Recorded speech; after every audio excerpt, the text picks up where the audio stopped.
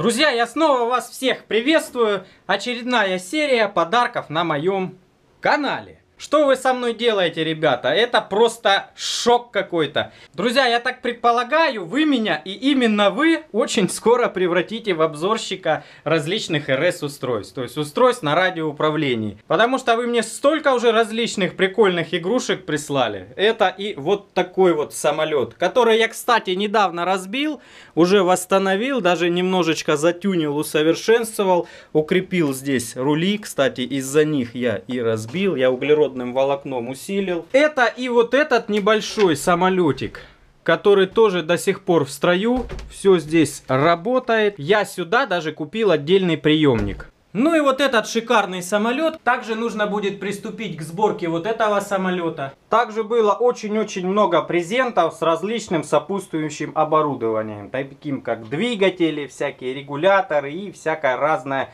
мелочевка. За что вам всем, друзья, огромное, просто безумное спасибо. Ну и сегодня у нас вот это вот чудо техники. Это машина, ребята. Это просто жесть. У меня нету своей собственной машины, поэтому буду ездить на вот этом чудо-агрегате. Точнее, им управлять. Это весьма крупная машинка на радиоуправлении с метанольным движком. Сейчас мы распакуем эту гигантскую посылочку. Посылочка весит 12 килограмм. Скрываю, безумно не терпится посмотреть, что там внутри. Посылочка, дорогие друзья, от Владимира из города Москва. Так. Да. Вот это размер. Здесь в пакете, я так подозреваю, какие-то ништяки а это что такое? Опа! Это топливо. У меня, кстати, есть для метанольных машин топливо. Вот она банка весьма ценного топлива. Здесь 20% нитрометана. С топливом, кстати, для машин беда. Чем больше нитрометана, тем оно дороже. Причем значительно дороже. Для самолетов, к примеру, может быть в два раза дешевле банка вот это стоит, чем для автомобилей. Потому что на машинах используется больше нитрометана. Я не знаю, сколько именно здесь. Ну, я думаю, 20 10% как минимум. Так, смотрим, смотрим. Это пультик управления. Это мы выяснили, что топливо. Это так называемая корка. Ну, по крайней мере, я слышал, так ее называют. Ну, а это шасси. Вот оно какое. Это просто шок какой-то. Так, значит, смотрим, что здесь в придачу. Вот это, кстати, тоже безумно нужные вещи. Это бутылка для заправки. Это у нас глушитель, который прогорел. Вот видно. Но это не беда. У нас есть токарный станок. Если что, можно новый выточить. Да, у меня есть пару глушителей. Это, я как понимаю, ключик, чтобы откручивать и закручивать колеса. Это какая-то защита. Аккумулятор, видимо, по всей видимости, бортовой. Зарядка. И Поджиг. Кстати, крутой поджиг такой. Ух ты. Интересно, тут сменная батарейка. Это поджиг для накала свечи, так как двигатель внутреннего сгорания. О, какая прекрасная вещь, друзья. Можно менять батарейки можно их сразу поназаряжать, несколько штук, и менять. Те накалы, которые есть у меня, у меня их уже три штуки, честно говоря. Два я заказывал с Алиэкспресса. Один мне также подарил зритель. И вот теперь их у меня действительно в достатке. Потому что еще плюс вот этот, я теперь без запуска не останусь, я думаю, никогда. Здесь разные бутылечки с различными смазками для машинки. Да еще нужно будет разобраться, что тут к чему. Аил фильтр ойл. Пропитка для фильтра сразу понятно. Это тоже какие-то китайские, японские. Короче, с иероглифами. Смазочки. Так, это очень хорошо. Этого дела смазок много не бывает. Потому что они должны быть прямо, ну, на все случаи жизни. Так, что вот это такое? М, что это такое? Какая-то интересная вещица, непонятная. Ну, как я вижу, показывает температуру. О, ох ты, ничего себе. Владимир, гигантское спасибо. Столько всяких прикольных тут вещей дополнительно положено. Я тебе писал, отписывался, что, что вот это вот, э, наверное, самое интересное, копошиться во всяких вот этих вот вещах дополнительных. Это приемник. Я надеюсь, он подходит сюда. А, может быть, это даже он и есть. Опять блок аккумуляторов. Все это нужно будет перепроверить. Опять же, еще один приемник. У меня уже есть несколько автомобильных приемников тоже были подарки от подписчиков. А это, друзья, стартер. Стартер для заводки авто. Угу. Ну да, без стартера его никак, так как ручка, я так понял, он не заводится, как частенько бывает. Ну, а это шестиграннички. Кстати, тоже за это гигантское спасибо. Вот таких прям очень не хватает маленьких шестигранников. Какая-то от пистолета инструкция. Может, пистолет тоже есть где-то здесь? Неужели и пистолет вот в пакете там лежит, а, друзья? Может такое быть? Не, я не представляю, если сейчас я пистолет там еще найду. И даже есть несколько мишеней для тира. Смотрим тогда, что в пакете. Я заинтригован. Мне кажется, там пистолет. Ну-ка, ну-ка, ну-ка, есть ли тут пистолет? Друзья, пистолета нету, по-моему. Так, но зато опять куча всяких смазочек различных. Очень хорошо. Разные герметики. Все здесь маленько растеклось, а надо все оптимизировать. Так, идем далее. Амортизаторы. Рабочие.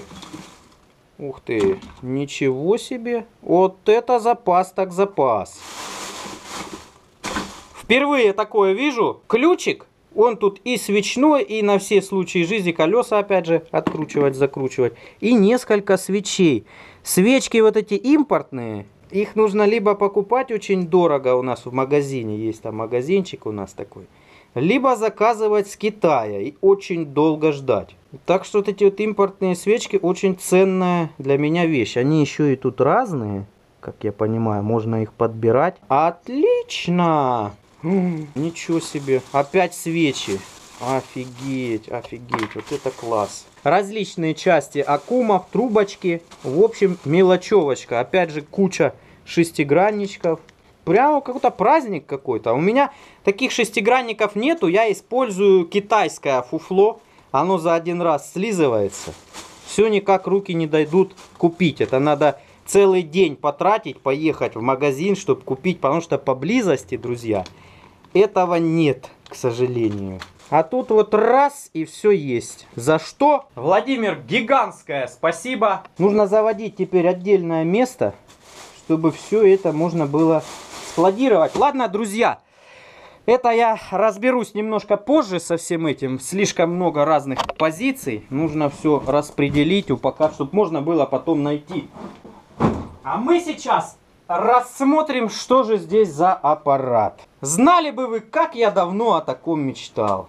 Это просто фантастика. Опа, колеса какие огромные. Полный привод и двигатель 4,6 кубических сантиметра. Друзья, ну надо же сделать пробный пуск. Я вот уже подключил аппаратуру. Уже колеса крутятся. Оп, оп, оп, оп, оп, оп. А ну-ка.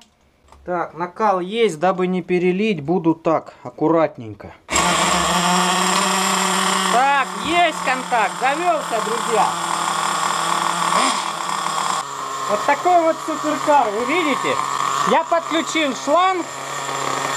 То есть вот идет шланг. Ну это чтобы в мастерской все на столе здесь не вымазать. Потому что двигатели, сами понимаете, так, ну что, надо ж выйти попробовать. Сейчас одену шапку, попробуем, погоняем. На улице, правда, тьма, ну хоть чуть-чуть.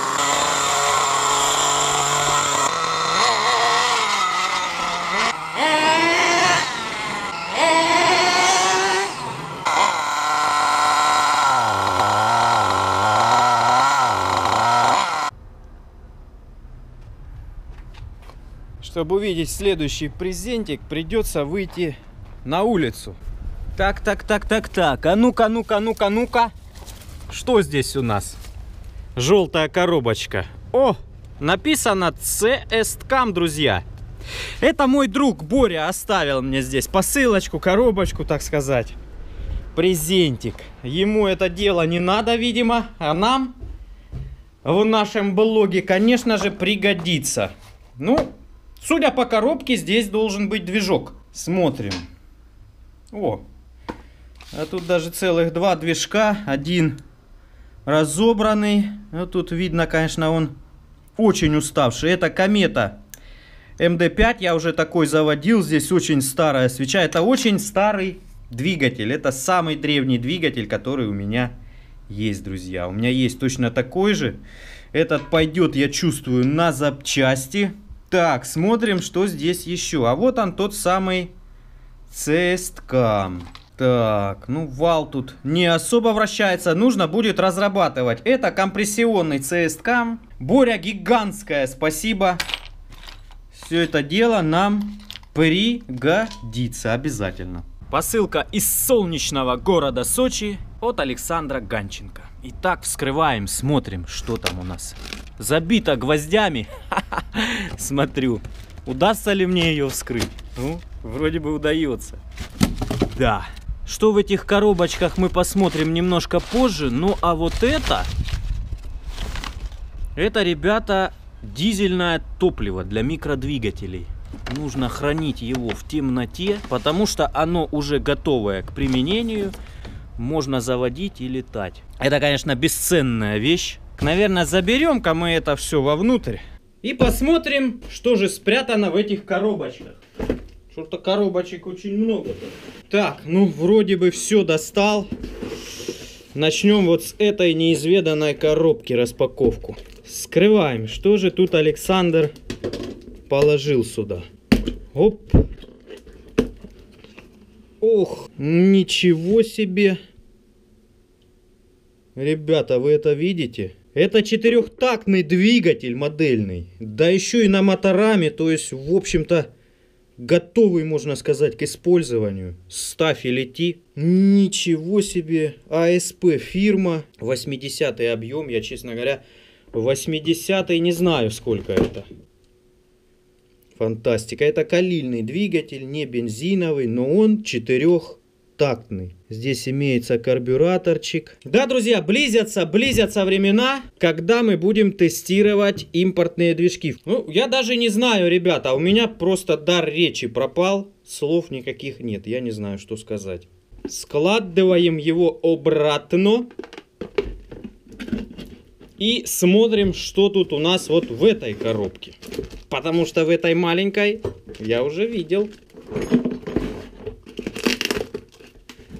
Хоп! Ох, ничего себе! Целая куча движков. Опять МД-5. Друзья, это двигатель с кольцом. Кстати, колец тут вечно на них не хватает. Это у нас что такое? Это компрессионный метеор. Очень круто. Это тоже метеор. О, зажатый поршень полностью. Так, а здесь что, тоже какое-то кольцо? Или он... А, он вместе с контрпоршнем ходит. КМК-12.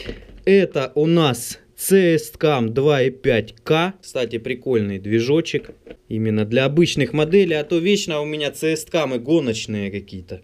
А это у нас Сокол OTM. Да, это весьма раритетный двигатель. У меня есть такой новенький, тоже презент от подписчика в свое время был. Я до сих пор не сделал обзоры на эти двигатели. Надо как-то собраться и сделать махом на все движки обзоры. Будет очень интересно. Вот этого я что-то никак не ожидал, что столько много движочков будет еще дополнительно, так сказать.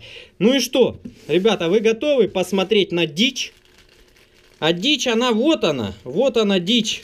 Самая большая в мире, самая маленькая дичь. Видите, что написано? Двигатель внутреннего сгорания 0.8 дизель. Движочек, так сказать, в коллекцию. Это ну прям, ну прям совсем микромоторчик. Сейчас я вам покажу сравнение с другими микродвигателями, которые у меня есть. Вот еще один только это калильный моторчик. У него объем 0,2 кубических сантиметра. У этого 0,8 кубических сантиметров объем. Кстати, обалденная компрессия у него. Двигатель рабочий. Александр сказал, что все работает. Так что его будем тестировать. И вот такой моторчик есть в коллекции, работающий на CO2. Объемом 0,27 кубических сантиметра. Вот этот моторчик, он, кстати, из птичьей серии. Тут, тут видите, сокол. Это калибри. Есть еще промежуточный вариант.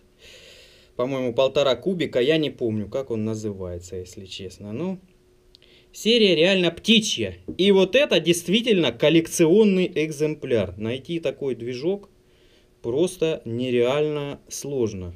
Спасибо, Александр, за такие ценные вещи. Вещи реально ценные, некоторые из них очень и очень редкие. Так что спасибо гигантское и привет из солнечного Ростова-на-Дону солнечному Сочи. Еще две посылочки предположительно с инструментом. Но вот здесь я в общем-то знаю, что... А здесь я до конца не уверен. Я вот посмотрел там в щелочку, немножко прорвано было. И меня немножко поразило увиденное. Презент из Екатеринбурга от Дмитрия Дмитриева. Разрезаем, смотрим. Так, раз, два. Вверх. Ну да, тут, друзья, честно говоря, такая вещь, что нужно знать, где верх, чтобы не было мучительно больно потом. Сейчас вы поймете, о чем идет речь, почему так. Здесь путать верх с низом ни в коем случае нельзя. Ну что, ребят, как вы видите, это коробочка с надписью УССР. То есть коробочка из-под инструмента. Посмотрим, что там внутри. Опа! Какая шикарная вещь, друзья. Я знал, что здесь концевые меры длины. Кстати, вот все-таки все равно они немножко провалились здесь хоть вверх с низом я и не путал, а как же вернуть обратно? Дело в том, что у меня есть такие КМДшки. Дмитрий спрашивал, есть ли у меня такой набор. Я сказал, что есть, но он у меня весьма в ушатанном состоянии. Хотя этот, обратите внимание, он как новенький. Я его даже буду хранить дома, потому что такие вещи в гараже сыром. Зимой, по крайней мере, хранить нельзя. Смотрим на мой набор. Обратите внимание, что происходит от сырости с этими концевыми мерами длины. Кстати, для тех, кто не знает, это эталонные меры длины, концевые. Здесь есть размеры на каждом. Маленькие идут через одну соточку, одну десяточку. В общем, тут э, разные варианты. Можно набирать все, что угодно, любые размеры. Это иногда пригождается мне на токарном, когда я точу. В длину нужно длины точно отмерять. Диаметр измеряется микрометром, а длинные обычно измеряю я концевыми мерами длины. Ну вот мои, они были немножко поржавевшие. А вот я их тут зачищал. Я ими пользуюсь. В принципе, пользоваться нормально можно, но не совсем приятно, скажем так. А вот этим набором уже будет приятно пользоваться. Но, правда, я его буду забирать домой, чтобы с ним не произошло то же самое, как и с этим. Потому что за зиму пару мест, пару новых ржавчин на нем появилось, к сожалению.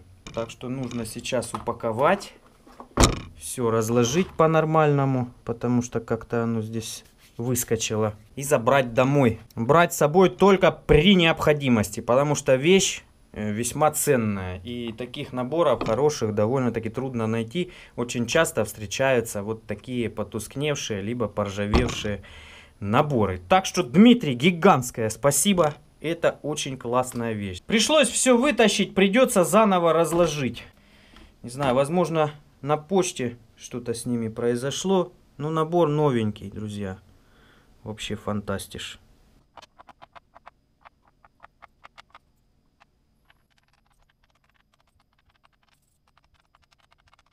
Фух, разложил наборчик и занял это всего лишь 5 минут.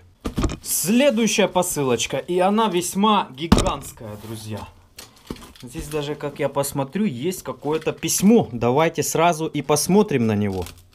Игорь, здравствуйте. Здравствуйте. Пишет ваш подписчик и давний зритель из сибирского городка Усть-Илимск. Поражаюсь вашему терпению и целеустремленности. Радуюсь вместе с вами достижению такой внушительной реактивной тяги на самодельном ТРД. Вообще получился хороший сериал по сборке ТРД. Ну тут я, пожалуй, соглашусь. Желаю вам достижения всех поставленных целей, развития вашего канала и новых изобретательских идей. С уважением, Юрий Ладик. Спасибо, Юрий, и за посылочку, и за такой ценный отзыв о моей деятельности. Поверьте, меня это все очень мотивирует. И хочется создать какой-нибудь еще один очень грандиозный проект, чтобы было также интересно, такой же интересный сериальчик получился. Я надеюсь, рано или поздно придут мне мысли по этому поводу. Итак, давайте вскроем посылочку, посмотрим, что же Юрий в нее положил. И там, я так подозреваю, тоже связано с инструментарием все это дело. Итак, смотрим. Вот это поворот. Это инструментальные ящички, ребята. Здесь что-то очень интересное. Ну, давайте начнем с коробочек и вот с этого поролона.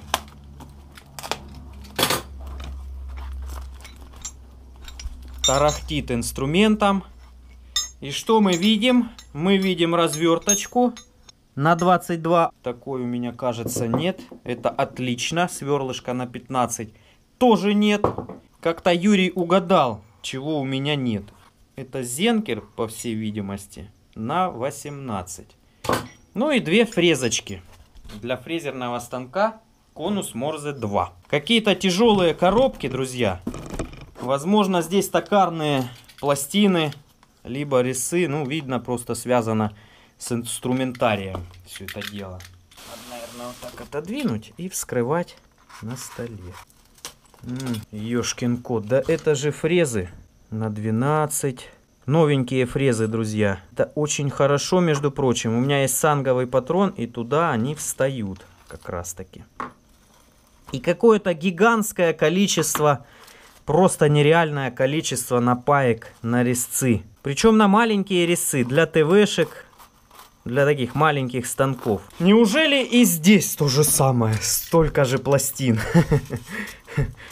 Конечно, столько пластин мне, друзья, за всю жизнь не освоить.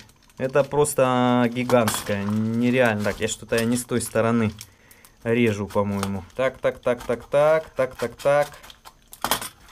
Опять пластины. Небольшая кучка гигантских пластин. Тоже под большие токарные резцы. Вот такую я могу использовать. Кстати, тут таких, которые мне подходят, несколько штучек есть. Ну вот это, вот это что такое, я не знаю, честно говоря. Вот хоть убейте вы меня. Я, конечно, сразу удивился, но виду не показываю. Но я не знаю, что вот это вот за мелкие пластины. Куда их применять и как их применять, я, честно говоря, вообще без понятия. Напишите в комментах, что это за пластиночки такие цилиндрические маленькие. Так, а я сейчас сразу себе выберу пластинки, которые буду использовать. А здесь фрезы. Это для шестерней, модуль М2. Это, это переточенная. Это, это, это тоже модуль М2. М2. А вот это модуль 1, что ли? Очень ценные фрезы, потому что я такими нарезаю зубья. И еще одна фрезочка новенькая. Отлично! Опять фрезы. Все-таки не зря я купил цангу на 12. Здесь что-то у нас интересное. Пластиночки напайные опять надо будет учиться напаивать, чувствую. Так, а что же здесь? Опять пластины чувствую. Посыпалось. Да, опять пластины резьбовые, всякие разные. Да, вот это количество пластин гигантское просто. Спасибо, Юрий. Тут токарить, конечно, не перетокарить. Ну, это керамическая пластинка. Такими пластинами я обтачивал подшипники, когда делал турбореактивный двигатель. КМДшками тоже пользовался, когда делал реактивный движок, чтобы подрасчитать именно на валу проточки, когда делал, чтобы подрасчитать зазор. Зазоры должны быть между крыльчатками весьма маленькие. Что же у нас в этих коробках? Не КМДшки ли? Нет. Гигантский, гигантский микрометр. Ну, такой какой-то необычный. Он стрелочный. Вот видите, друзья, что происходит с инструментом после долгого хранения и из-за чего КМДшки потом начинают ржаветь. Когда вот этот вот поролон стареет, он превращается в такую липкую субстанцию. Нужно это все дело оттирать. Ну, на такой инструмент оно не влияет. Почему-то оно очень сильно влияет на КМД. Но вот это, конечно, вещь наикрутейшая. Это уже получается повышенной точности инструмент. Здесь 2 микрона цена деления. То есть этот микрометр двухмикронный по сути своей. Все вращается, но нужно разрабатывать. А это калибр, чтобы его калибровать. Здесь ровно 50 миллиметров. В общем, все это дело нужно оттереть, вынуть отсюда этот поролон сразу. Это какой-то ключик, чтобы разбирать. А это паспорт. ГОСТ, все дела. Допускаемая погрешность 1 микрон. Вот такие вот дела. Цена 430 рублей. Это интересно, каких годов. И смотрим, что вот здесь. Коробочка полуоткрытая, но я пока не видел. Нутромерчик. Хм, с паспортом. Все тоже новенькое. Вот класс. Когда много нутромеров, хорошо, можно каждый под свой размер настроить. Ну, по крайней мере, несколько нутромеров можно настроить под какие-то часто используемые размеры и пользоваться. Здесь вставочки, полный комплект вставок. Это очень круто на самом деле. Опять же этот поролон, ребята, надо его сразу вычищать. Не могу терпеть я этот поролон разложившийся. Слушайте, настолько лютая вещь, что даже шабер ее не берет. Обратите внимание. Можно шкрябать хоть целый день. Можно хоть этим шабером, хоть вот этим. Не берет этот старый поролон, и все тебе тут. Так, ну стаместочка, кажись, берет.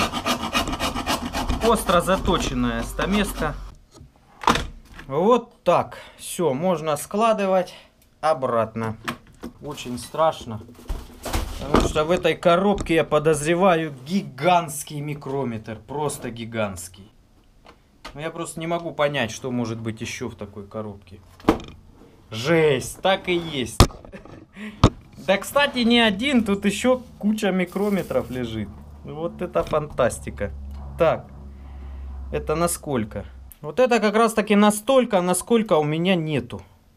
Это микрометр. 75-100 миллиметров. Да, как раз такого микрометра у меня нет. У меня есть следующий размер и до этого. В общем, теперь по сути у меня полный набор микрометров.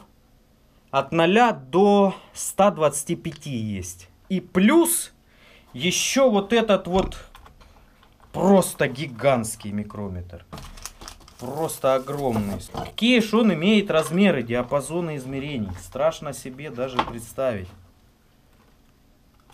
Вот какой. Новый в масле. Калибр здесь присутствует. Опять же, вот он он. Для того, чтобы калибровать этот инструмент. Пластмассочка немножко подуставшая. 275-300 миллиметров. Ну, как раз, в принципе, станок у меня позволяет работать таким инструментом. Да, видно, хряснули его в транспортной, Юрий. Потому что и коробочка, ну, жизненно важная, тут ничего не пострадало. Неприятности то мы переживем. Юрий, огромное спасибо за такой набор токарной радости.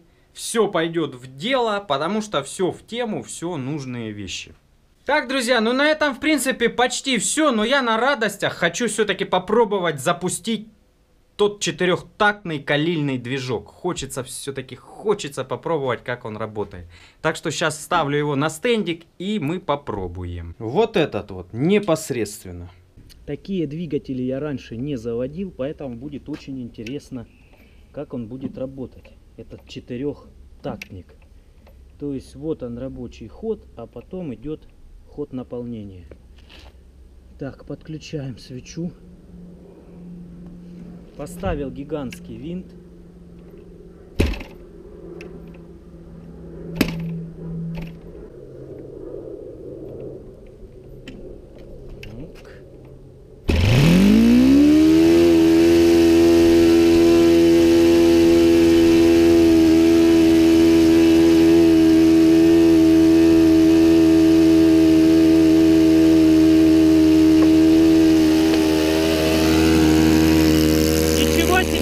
настроенном двигателе сразу какая тяга. Завелся весьма быстро, друзья. Вы слышите, какой звук? Этот двигатель, он экономичный. Можно будет делать хорошие модели под него и запускать в небо. В общем, на этом, друзья, можно поставить жирную точку сегодняшнему видео. Всем огромное спасибо за презенты. Всем передаю привет. Всего наилучшего. Всем пока. До новых встреч.